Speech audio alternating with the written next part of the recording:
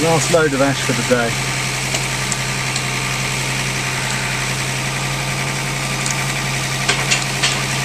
Good job done.